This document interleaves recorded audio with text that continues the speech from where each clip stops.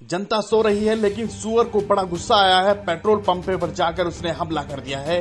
वहाँ पर क्योंकि लगातार पेट्रोल के दाम बढ़ रहे थे जनता सो रही थी। जनता को कोई फ़र्क नहीं पड़ा लेकिन सुअर को बहुत फ़र्क पड़ा और सुअर ने एकदम हमला कर दिया पेट्रोल पंप पर। आप देख रहे हैं यहाँ पर किस तरीके से आप सुअर बार बार पेट्रोल पंप पर हमला कर रहा है।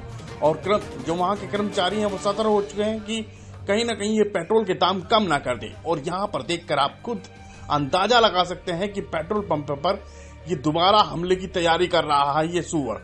और ये देखिए, फिर हमला किया और यहाँ पर एक आदमी को टक्कर मारकर भाग गया।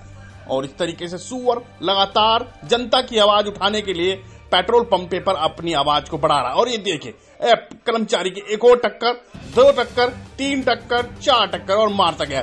और यहाँ पर पेट्रोल पंप के कर्मचारियों ने घेर लिया है सुअर को। और सुअर लगातार हमले पर हमला, क्योंकि पेट्रोल के दाम लगातार बढ़ रहे हैं। जनता सो रही है और क्योंकि अब सोने का काम सूरों ने छोड़ दिया है, लेकिन जनता सो रही है। और यहाँ पर आप देख सकते हैं किस तरीके से छुपकर एक कर्मचारी देख रहा है। और कहीं ना कहीं सुअर दोबारा भी हमला कर सकता है।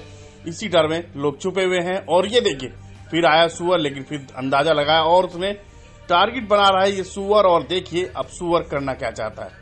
कहीं ना कहीं अब सुअर फिर दोबारा से पेट्रोल पंप की तरफ़ गया और वहीं पर जहाँ पर लोग पेट्रोल भरवाते हैं, वहीं पर ये घूम रहा है।